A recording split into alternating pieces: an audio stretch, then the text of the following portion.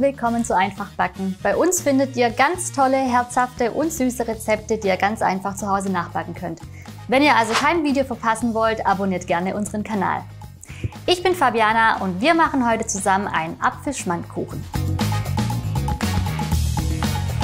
Für unseren Mürbeteig brauchen wir Butter, Mehl, Zucker und Vanillezucker und für die Füllung Milch, Zucker, Vanillepuddingpulver, Schmand und ungefähr 800 Gramm Äpfel und außerdem Mandelstifte und etwas Zitronensaft. So, wir bereiten im ersten Schritt unseren Boden vor. Dafür gebe ich die Butter, das Mehl und den Zucker und noch eine Prise Salz in eine Rührschüssel und verknete das Ganze.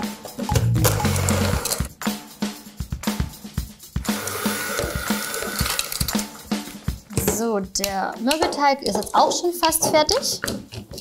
Nochmal ganz kurz von Hand durchkneten. Und dann habe ich mir hier schon mal ein bisschen Frischhaltefolie bereitgelegt. Da kommt er jetzt nämlich drauf und für ungefähr 15 Minuten in den Kühlschrank. Für unsere Füllung kochen wir jetzt den Vanillepudding auf.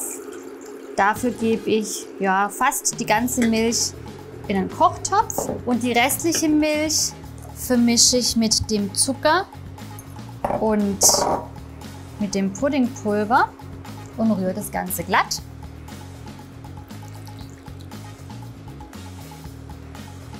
Und gebe das Ganze dann nachher zu der erhitzten Milch rein.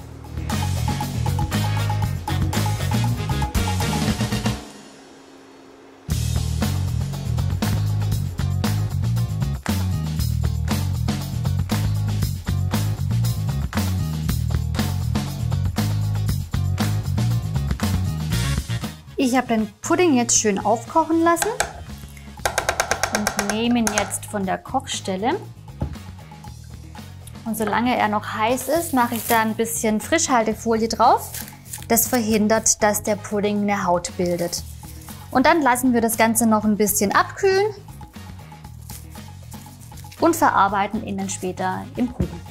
Ich habe jetzt hier schon mal die Äpfel geschält, entkernt und in Scheiben geschnitten und mit dem Zitronensaft vermischt, sodass sie äh, ja, nicht braun werden. Jetzt mache ich hier noch unsere Cremefüllung fertig.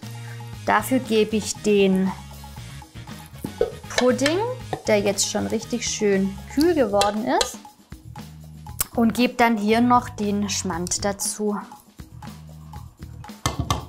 Und das war es dann auch eigentlich schon. Das ist unsere Füllung. Das verrühre ich jetzt noch kurz miteinander.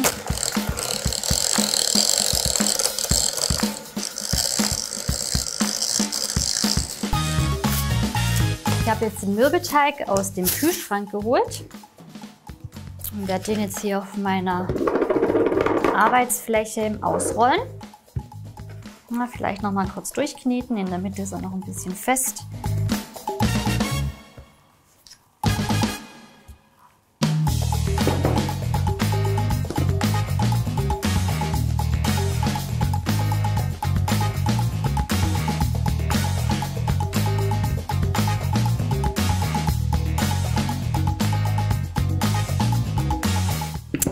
So, dann nehme ich mir meine Springform und drücke die hier so ein bisschen drauf. Ich habe hier eine 26er Springform auch schon mit Backpapier ausgelegt und den Rand eingefettet und mit Mehl bestäubt. Und jetzt fahre ich hier an der Kante entlang.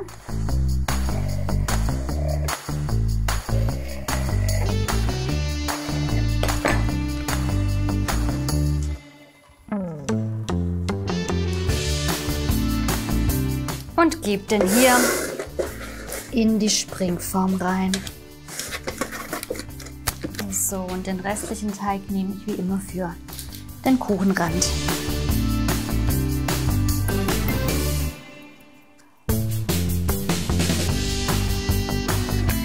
Ich steche jetzt hier nochmal mit der Gabel kurz rein, sodass der Teig beim Backen auch schön gleichmäßig bleibt.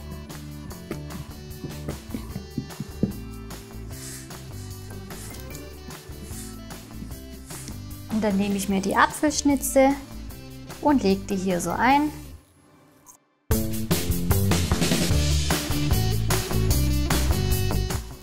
So, jetzt kommt hier noch die Pudding-Schmandcreme drauf.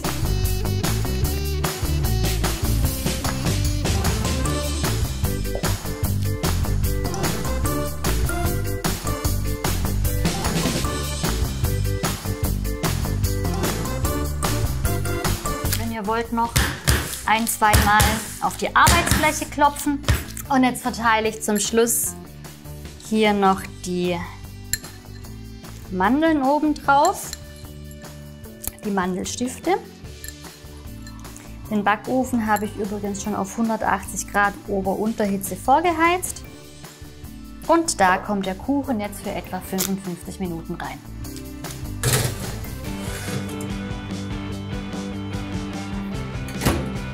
Unser Apfelschmandkuchen ist fast fertig. Das Einzige, was fehlt, der muss jetzt hier noch aus der Kuchenform raus. Dazu schneide ich zwischen Kuchen und Springform hier entlang. So. Oh, wunderbar hochgegangen, sehr schön. Ne, das ist so ein richtig toller Kuchenklassiker. Apfelschmandkuchen geht wirklich immer. Wenn ihr wollt, dann schreibt mir gerne in die Kommentare, welchen Klassiker ihr am liebsten backt. Zu dem Kuchen passen übrigens auch hervorragend Birnen anstatt Äpfel oder auch Kirschen aus dem Glas, wenn ihr mögt. Achtet da nur drauf, dass ihr die Kirschen sehr gut abtropfen lasst, damit sie nicht allzu viel Flüssigkeit abgeben. Und was ich am liebsten mag an dem Kuchen ist tatsächlich die Füllung. Schmand- und Vanillepuddingpulver schmeckt fantastisch, super einfach, aber mega lecker. Also unbedingt nachbacken, wenn ihr wollt.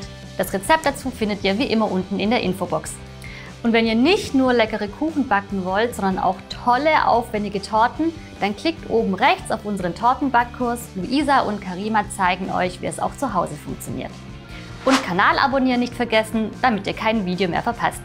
Danke fürs Zuschauen, viel Spaß beim Nachbacken und bis zum nächsten Mal, wenn es wieder heißt, einfach backen.